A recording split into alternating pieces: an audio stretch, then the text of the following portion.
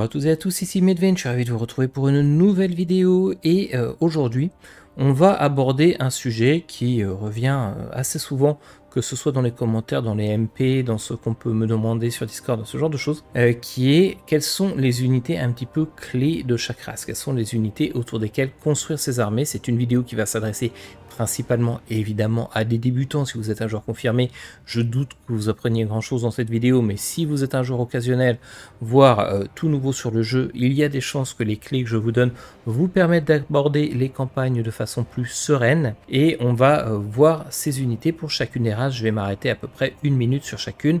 Donc ça va faire plusieurs vidéos. On va avoir trois vidéos où à chaque fois je vais traiter de entre 7 et 9 races différentes. Alors la première vidéo va s'intéresser aux zombettes à la Bretonie, alors pas au démon du chaos parce que c'est pas vraiment considéré comme une race à part et que on va la traiter en fait quand on va parler des autres euh, du, du chaos. On va également parler des elfes noirs, des nains de l'empire du Grand Catet et des peaux vertes. Voilà, ce sont euh, les premières races que l'on va traiter. Vous voyez qu'on est dans l'ordre anglo-saxon euh, de présentation des races, hein, parce que Umbed c'est Beastman, Brutonia, Demon of Chaos, Dark Elf, Dwarf, Empire, Grand Cate et Greenskin. Voilà, donc euh, ça vous donne une idée pourquoi je le fais dans cet ordre. c'est tout. Tout de suite, on va commencer avec les Umbettes.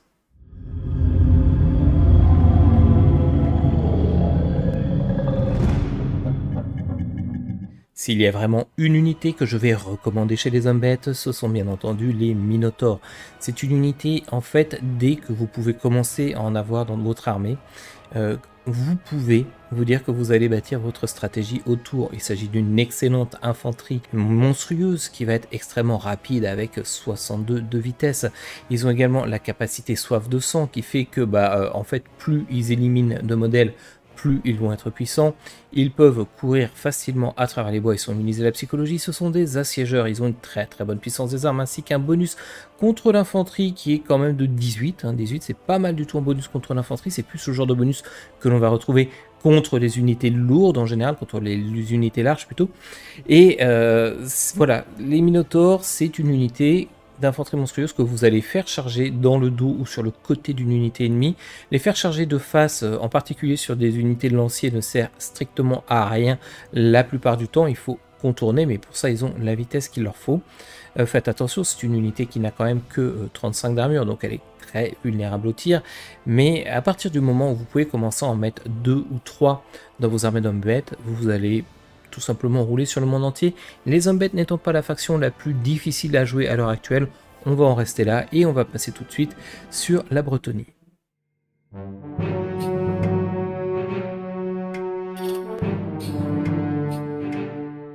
Côté bretonien, ce sont bien entendu les chevaliers du Graal qui vont former un petit peu le noyau de toutes les armées à partir du moment où vous allez pouvoir vous payer le serment qui va vous permettre de les acquérir. Si vous n'avez pas le serment, il vaut mieux évidemment se rabattre sur des chevaliers du royaume, mais les chevaliers du Graal, eh bien c'est probablement l'unité la plus couteau suisse de toute la Bretonie puisqu'elle a quand même énormément de qualités. Tout d'abord c'est de la cavalerie lourde donc elle est plutôt rapide, elle va avoir une bonne armure de 90 avec un bouclier de bronze mais ce qui est vraiment intéressant dans cette unité eh bien c'est d'abord qu'elle dispose d'attaque magique, une attaque qui est assez élevée de 38 avec un très très gros bonus de charge de 78. C'est un des plus gros bonus de charge du jeu donc vous additionnez le bonus de charge et l'attaque, ça fait que vous pouvez euh, carrément avoir 116 d'attaque euh, lorsque vous chargez. C'est extrêmement élevé. Vous allez ajouter à cela des dégâts de choc qui sont aussi assez importants puisqu'ils ont tout de même une assez bonne masse 2100.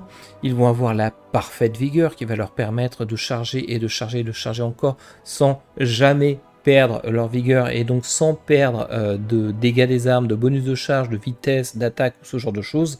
C'est également une unité qui est immunisée à la psychologie et qui dispose de la capacité bénédiction de la dame qui augmente sa résistance physique de 20% tant que son commandement n'est pas brisé.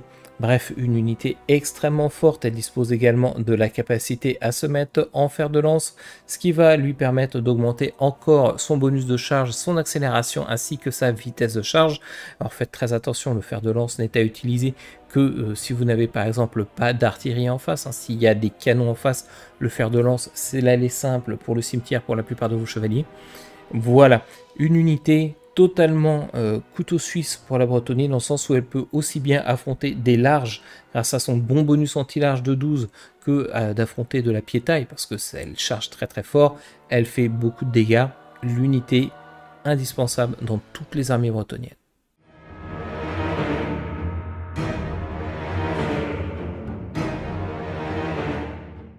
Chez les elfes noirs, l'unité clé évidemment de vos armées, que ce soit en début ou en milieu de campagne, voire même en fin de campagne, eh bien ce sont les sombres traits, en particulier la version qui a un bouclier. D'abord parce qu'elle a un excellent bouclier un bouclier d'argent qui va résister à 55% des projectiles qui leur sont tirés de face, leur permettant de prendre des duels de tir avec la plupart des unités. Ensuite, c'est une unité qui va certes avoir une faible portée 225, mais une puissance des tirs énorme avec beaucoup de perce armure, sachant que euh, chacun des arbalétriers va envoyer deux carreaux d'arbalète à chaque tir, sachant qu'il y a 90 modèles. Cela fait 180 carreaux d'arbalète qui sont tirés à chacune des salves, avec 18 munitions on peut raisonnablement penser qu'ils viendront à bout de n'importe quelle menace sur le champ de bataille. Donc vraiment aucun souci avec eux. Construisez vos armées autour, c'est-à-dire que la base pour une armée elfe noire va être d'avoir 4, peut-être 5 sombres traits,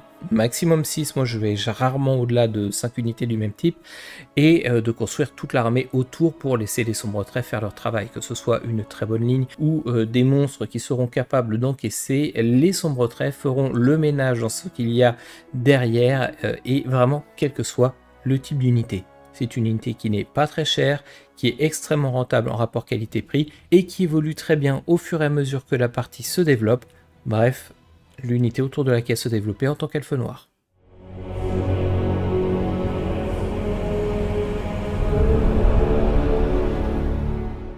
Chez les nains, bien évidemment, l'unité autour de laquelle je vais construire mes armées à partir du moment où elle sera disponible, et ça, ça vient un peu plus tard, c'est pas une unité de ligne. Hein. La ligne naine est là pour tenir, donc elle ne va pas faire particulièrement de dégâts, mais euh, l'unité qu'il vous faut faire fonctionner à tout prix parce que bah, elle fait juste trop de dégâts, ce sont les canons orgues. Les canons orgues, c'est cette machine qui va avoir 4 fûts, 4 x 4, ça fait 16. Ça veut dire qu'elle va envoyer 16 projectiles à chacune de ces salves avec une énorme puissance de tir perce armure, 68 de perce armure et 22 de dégâts de base. Un temps de rechargement qui, ma foi, est plutôt rapide, hein, à seulement 12 secondes. 12 secondes, c'est très peu. C'est vraiment une unité qui va pouvoir faire le ménage dans à peu près n'importe quoi. Je, ne connais aucune unité dans le jeu qui soit capable de soutenir euh, les salves euh, ininterrompues de canon orgue. En général, 4-5 salves, c'est largement suffisant pour venir à bout de n'importe quel adversaire. Donc, de base, l'unité à utiliser absolument, et dans tous les cas avec les nains, et euh, autour de laquelle construire votre armée pour les protéger et pour qu'ils puissent agir.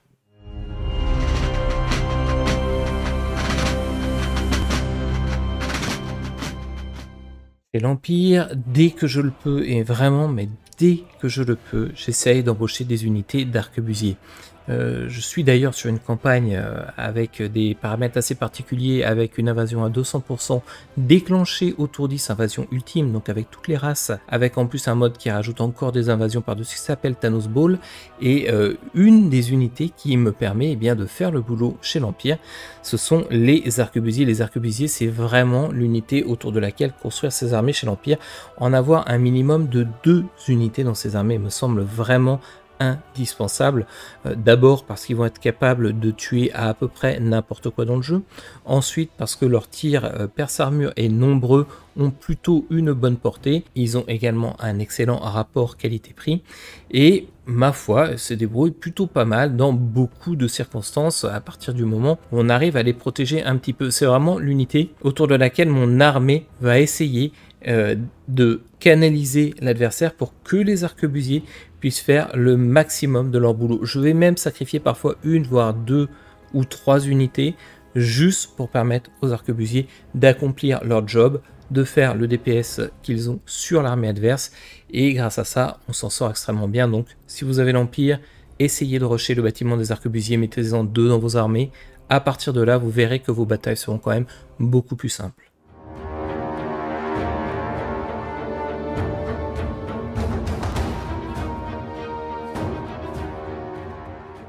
Le Grand Catet, l'unité autour de laquelle vous allez pouvoir construire 80% de vos armées. Hein. Je ne parle pas des grosses armées d'élite, mais on va dire les armées normales, voire les armées de début de partie avec vos seigneurs légendaires. Eh bien, ce sont évidemment les guerriers à arbalète de jade avec Euh, parce que bah, c'est juste une unité qui, encore une fois, est très bon rapport qualité-prix, a un bon DPS, va en plus très bien résister. Euh, de toutes les unités qu'on a présentées jusqu'ici, c'est juste l'unité qui va le mieux résister au corps à corps, c'est une unité de tir. En effet, ils vont avoir pas moins de 90 d'armure avec un bouclier de bronze, donc ils vont pouvoir échapper à 35% des tirs qui leur seront envoyés de face. Hein. Il n'y a pas besoin que le bouclier soit activé dans leurs mains pour que ça proc, il suffit juste de les mettre face à des tireurs ennemis et bénéficient de cette protection. Ils vont également avoir une vitesse pour des guerriers de jade qui est pas mal du tout, hein, sachant que ce sont quand même des guerriers qui ont de très très grosses armures. C'est plutôt pas mal d'avoir 34 de vitesse et cela s'obtient grâce à l'harmonie hein, qui va leur donner plus 12% de vitesse, augmenter leur temps de rechargement et leur commandement. Euh, une unité qui va avoir en plus une très bonne portée, 260, beaucoup de munitions, 22 munitions, c'est très très bien pour une unité de base.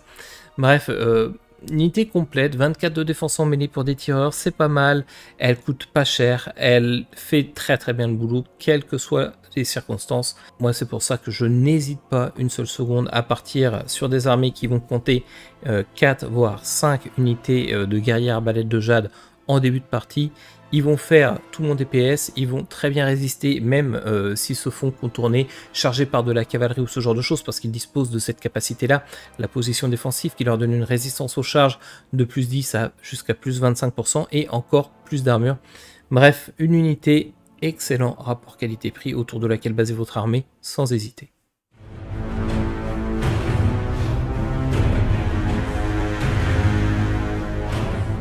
En début de campagne chez les peaux vertes l'unité qui va pour moi être la plus utile. Alors attention, c'est pas une unité de ligne, c'est une unité de contournement ou euh, une unité pour aller chercher les tueurs adverses, eh bien ce sont bien entendu les zigouillards. Les zigouillards, une unité qui peut se cacher sur n'importe quel type de terrain, qui est donc invisible à l'adversaire jusqu'à ce qu'elle soit suffisamment proche. Une unité qui va avoir une des capacités euh, passives les plus dingues du jeu. Cette capacité s'appelle meurtrier opportuniste qui va leur donner plus 12 d'attaque en mêlée et plus 40% de dégâts des armes perforantes à partir du moment euh, où ils sont engagés dans la mêlée. Ce buff dure pendant 15 secondes, ensuite vous avez un temps de repos de 3 secondes, puis il se réactive. Bref, excellent, excellent buff. Ils ont une très bonne puissance des armes, ils sont surtout très nombreux dans l'unité. 18 de euh, puissance des armes perforante avec 160 modèles qui plus est avec une attaque de 26 qui est augmentée euh, encore de 12 donc qui passe à 38 avec euh, la capacité passive euh, c'est probablement une des unités les plus abusées du jeu en termes de DPS une bonne unité de zigouillard peut faire dans une bataille 400-500 morts ça m'est déjà arrivé et relativement régulièrement L'autre très grand avantage, c'est que comme ils peuvent traquer, si vous faites des batailles de siège et que vous n'avez pas envie de vous embêter, vous pouvez les envoyer par derrière prendre les points, euh, l'ennemi ne va même pas les voir, et même s'il les voit et qu'il envoie une unité dessus, en général, il va envoyer des unités de cavalerie ou des unités de chars, et là, les zigouillards se débrouillent extrêmement bien contre ce type d'unité grâce à la capacité bombe fumante qui va réduire la vitesse et la vitesse de charge de ces unités, ce qui fait que les zigouillards encaissent extrêmement bien les charges d'unités bah, de cavalerie, ce qui est quand même plutôt étrange puisque ce sont euh, quand même des petits gobelins. Normalement, ils sont pas du tout censés s'en sortir convenablement contre ça, mais ils le font parfaitement. Bref, l'unité euh, couteau suisse de début de partie, en avoir au moins une voire deux unités dans une armée de peau verte en début de partie, vous assure un excellent DPS et vous assure surtout d'être capable de faire face à absolument n'importe quel type de menace. Ils sont même utiles en fin de partie. Moi, j'en ai pratiquement à 90% du temps une dans mes armées, la seule exception étant probablement Wurzag et ses orques sauvages.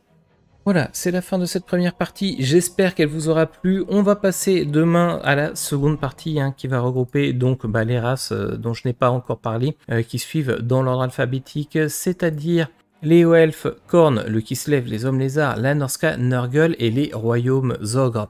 Voilà, j'espère que cette vidéo vous a plu. Si cette petite série vous intéresse, n'hésitez pas à me le dire. N'hésitez pas non plus à faire des commentaires sous la vidéo, que ce soit pour le référencement, pour me poser des questions ou euh, au contraire pour donner votre avis. Tout m'intéresse et je vous dis à très bientôt.